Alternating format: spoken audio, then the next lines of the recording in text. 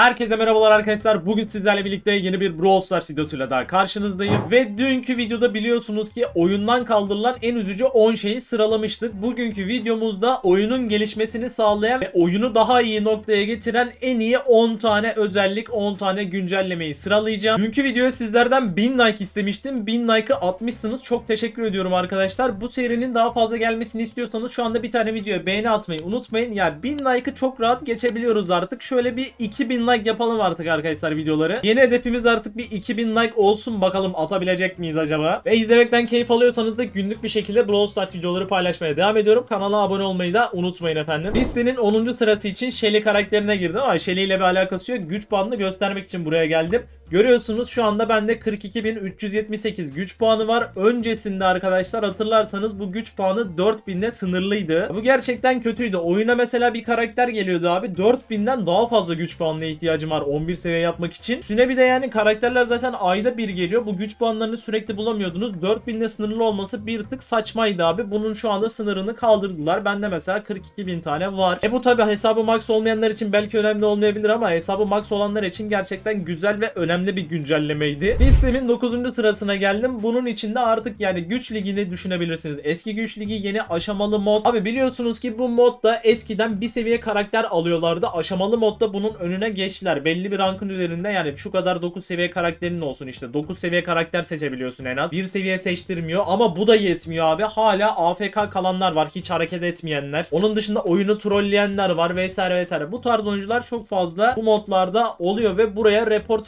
sisteminin gelmesi gerçekten çok güzel oldu. Hani nasıl bir yaptırım uyguluyorlar onu gerçekten bilmiyorum. Yani ban yiyen var mı? Yiyenler varsa veyahut da başka bir şey yaşayan arkadaşları olan varsa yorumlara yazabilirsiniz. Ya bu report sisteminin ve ban sisteminin gelmesi güzel oldu. Tabii ki burada hocam bir de bizim bir saygınlık muhabbetimiz var. Bu da yine aynı şekilde sürekli maçtan çıkanlar için ya genel olarak böyle trolleyenler için farklı önlemler almış olmaları, report sistemini ve bu saygınlık sistemini getirmiş olmaları güzel bir güncellemeydi. 8. sıraya geldim. 8.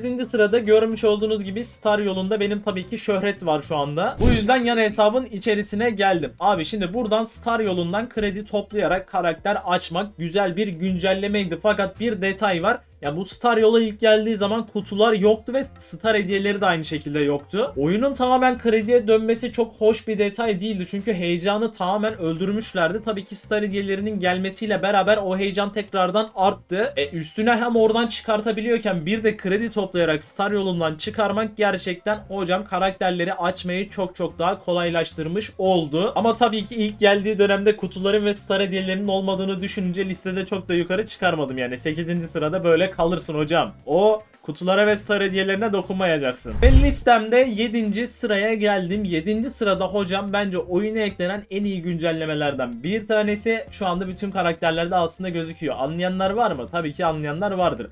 Arkadaşlar ustalıkların, ustalık yollarının gelmesi bu oyunda inanılmaz güzel oldu. Çünkü biliyorsunuz ki bir tane güncellemede bir anda 10 seviyeden 11 seviyeye geldi ki 10 seviye karakterlerimiz de hatırlarsanız o zaman 9'a düşmüştü. Hani bir anda o zaman oyunda 50-60 tane mi karakter vardı? Gerçekten hatırlamıyorum onu da. Bir sürü karakter varken bir anda hepsini 2 seviye daha yükseltmemiz gerekti. Ya yani biz oyuna o zaman ekiple beraber hatırlarsanız 22 bin 30 bin elmas falan basmıştık. O kadar elmas basmamıza rağmen biz yine maxlayamamıştık hesabı. Gerçekten inanılmazdı. E ustalık yolu da burada görmüş olduğunuz gibi ya baştan bir başlıyor sana altın veriyor, güç puanı veriyor, kredi veriyor. Yine alt, güç puanı veriyor, altın veriyor, kredi veriyor. E bütün karakterlerde böyle. Onun dışında çok güzel kozmetikler kattı oyuna. Yani şurada o görmüş olduğunuz her karakterin oyuncu simgesi geldi. Farklı bir rozeti geldi ve onun dışında ünvan da geldi. Yani hem hesabınızı maxlamanız açısından hem de aynı şekilde hesabınızı kozmetik açıdan daha güzel bir hale getirmeniz için ustalık yolu çok çok güzel oldu. Geldim listemde 6. sıraya. 6. sıramızda Mega Kumbara var arkadaşlar. Ben bu arada en sonki Mega Kumbara'yı oynamayı unuttum. Yani çok içimde kaldı. Bir tane bile savaş yapmadığım için bana Kumbara'yı oyun açtırmadı arkadaşlar. Şu an 22 gün 22 saat sonra tekrardan gelecekmiş. Mega Kumbara ile beraber de zaten yine aynı şekilde ustalık yolunda olduğu gibi fazla fazla kaynak toplamaya başladık. Onun dışında bir de Kumbara'yı tamamen doldurursanız 20 tane star hediyesi açabiliyorsun. Ekstra klanları da ilk 3'e girersen 2-3 tane daha açtırıyor sana. Yine hesaplarımızı maxlayabileceğimiz güzel bir etkinlik oldu fakat bu etkinlikle alakalı bir eleştirim var. Bunun ilk geldiği zaman hocam bize güzel güzel oynatıyorlardı. Bunu haftada bir gelmişti. Abi şu anda bir başlıyor sonra sonra 20-25 gün sonra tekrar geliyor. Ya zaten bak içerisinden çıkan şeyler güzel fakat bence az. E neden az abi? 20 gün sonra gelecek abi bu bir daha. Yani içerisinden o kadar fazla şey çıkmıyor. Bence bunun süresinde bir sıkıntı var. Bunun süresini ayarlamaları lazım ya da kumbaradan çıkan şeyleri arttırmaları lazım. Çünkü önceki klan savaşı sistemini hatırlarsanız o klan savaşı sisteminde bir hafta savaş yapıyorduk. Bir haftada görev haftası oluyordu ve gerçekten oranın marketinde daha fazla altın güç puanı kostüm tarzında şeyler alabiliyorduk. Yani mega kumbarayı ödül açısından bir tık daha geliştirmeleri lazım. Sistem olarak daha çok seviyorum fakat ödül konusunda bir ufak tefek bence hala sıkıntıları var. 5. sıraya geldim. 5. sıramızda kupa yolunun uzaması var. Ya bu kupa yolunun uzaması arkadaşlar 14.000'dekinden bahsediyorum. Şu anda 70.000'e kadar tekrardan gitti. Tabii ki bu da yine güzel. Yani şu an 14.000'e kadar gitmem çok zor bu arada. 14.000'e kadar gitmeyeyim. 14.000'den bir anda 50.000 kupaya kadar uzattılar ve o uzattıkları dönemi hatırlayanlar vardır. İnanılmaz bir hata oldu. Ya bazıları ödülü topladı, bazıları ödülü toplayamadı. Böyle karmaşık olaylar oldu ve tazminat da verdiler üstüne. Ya o dönemde Chester karakteri gelmişti ve Chester karakterini neredeyse ücretsiz açmayan hiç kimse kalmamıştı. E Chester da efsane bir karakter yani gerçekten açması o kadar rahat olmaması gerekirken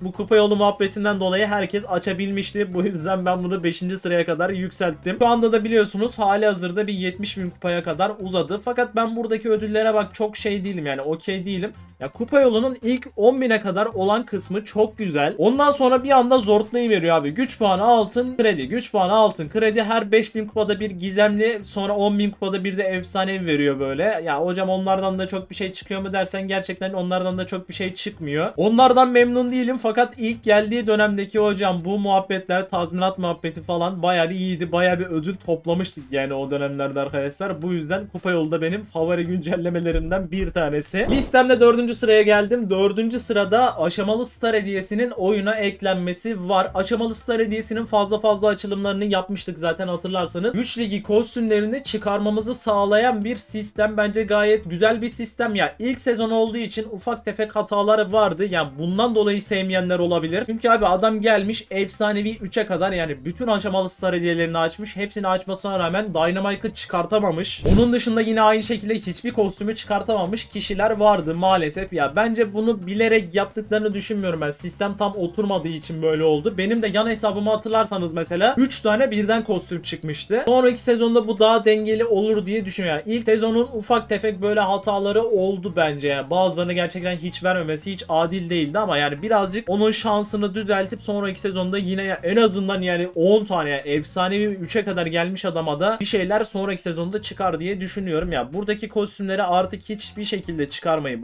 başaramıyorduk. O aşamalı star hediyesinin gelip eski kostümleri de çıkartabilme olayı gerçekten güzel oldu. Bende şu an görmüş olduğunuz gibi 2 tane eksik var. Bir de Taştoro Lu yok aslında bende. O burada gözükmüyor. 3 tane eksiğim var şu anda. Ve geldim listemde 3. sıraya. 3. sıraya arkadaşlar şu görmüş olduğunuz ağacı aldım. Oyuna şu anda farkındaysanız arkadaşlar böyle bir 3 haftada bir, ayda bir bir şekilde yani sürekli süreli etkinlikler geliyor. Bu arada bu buraya gelen etkinliklerden bahsetmiyorum. Buraya gelen etkinlikler abi biliyorsunuz ki ödülleri bir tık böyle fıs oluyor yani. Oynama bazılarını oynamıyorum bile hatta ben. Fakat son dönemlerde oyun kadar aktifleşti ki şu an görmüş olduğunuz gibi yolun sonundan 100 tane star hediyesi alacağız. Önceki etkinliklerde yine aynı şekilde ustalık bir anda %100 oluyor, %150 oluyor, %200 oluyor. Dünya Kadınlar Günü'ne özel yine bir etkinlik getirmişlerdi. Oradan bazılarına melodi verdiler. İşte Brawl Pass Plus dağıttılar. Şu an yine burada 100 tane star hediyesinin yanında bazılarına 100 tane efsane bir star hediyesi verecekler. Ya bu bir güncellemede sürekli oyun içerisinde olan bir şey değil tabii ki ama bunu artık neredeyse sürekli hale getirdiler. Bu tarzda etkinliklerin gelmesi bence oyunun yine toparlanmasında etkili olan iyi güncellemelerden bir tanesi. Zaten bunu hocam 3. sıraya almış oldum. Ve geldim listemde 2. sıraya. 2. sırada mücevher güncellemesi var. Arkadaşlar biliyorsunuz ki oyunda eskiden yıldız puanı muhabbeti vardı ve bu yıldız puanı muhabbeti aslında bunun 10 katı gibi bir şeydi. Yani şu an bende 1430 mücevher var. 1430 mücevher 14300 yıldız puanına denk geliyordu. Fakat ya yıldız puanında şöyle bir kötü nokta vardı. Yıldız puanıyla alınan kostümler vardı. Yani güç ligi kostümlerini yıldız puanıyla alabiliyorduk. Onun dışında bir de böyle altın mecha crow, altın mecha bow, beyaz mecha bow, karanlık mecha crow gibi kostümleri satın alabiliyorduk. Fakat onun dışında başka hiçbir şeyi satın alamıyorduk. Öyle bir güncelleme getirdiler ki oyuna bir anda kostüm enderlikleri oyuna eklendi. Ya ender kostüm oldu, süper ender kostüm oldu, destansı oldu, gizemli oldu ve efsanevi oldu. Gizemli ve efsanevilere hala tabii ki mücevherle ulaşamıyoruz. Fakat şu anda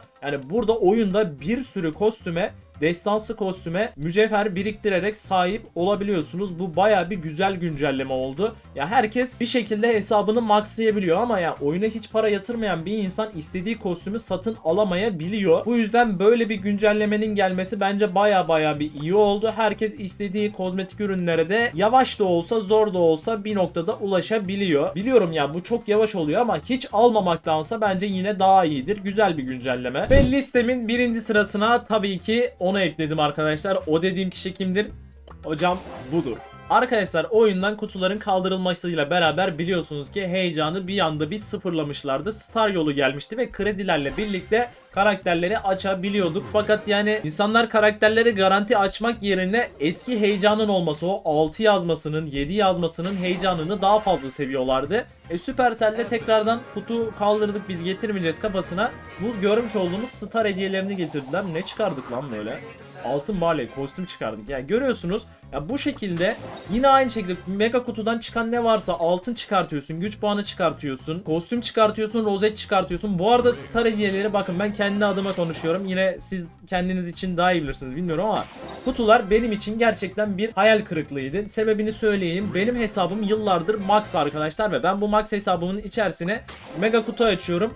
Abi bir tane altın çıkıyordu. Bir tane de dış böyle sarı yanıp bir şeyler veriyordu ya işte. DP katlayıcı, cart curt. Sadece ondan veriyordu. Bu yüzden benim için gerçekten kutular çok değersizdi yani eskiden. Çünkü hiçbir şey gerçekten çıkarmıyordum. Fakat star hediyeleri geldiğinden bu yana e- eminim ki hesabıma Belki 15-20 tane destansı kostüm çıkardım. Aynı şekilde süper ender kostümler çıkardım. E, rozet çıkardım, sprey çıkardım. E, kutular olmuş olsaydı oyunda ben bunların hiçbirini çıkartamayacaktım. Ya, bu yüzden ben star hediyelerinin daha iyi olduğunu düşünüyorum. Ya hocam artık siz kutuları seviyorsanız da o da artık sizin tercihiniz yani diyebilecek çok da bir şeyim yok. Kutular benim işime dediğim gibi çok fazla yaramıyordu. E, listemde de birinci sıraya hocam ne kadar şanssız açtık bu arada hiçbir şey çıkmadı. Bu şekilde yerleşmiş oldu star hediyeleri. Hadi şöyle son bir tane daha açayım.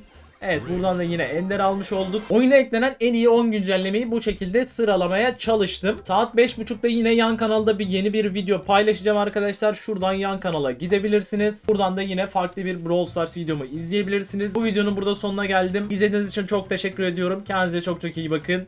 Bay bay.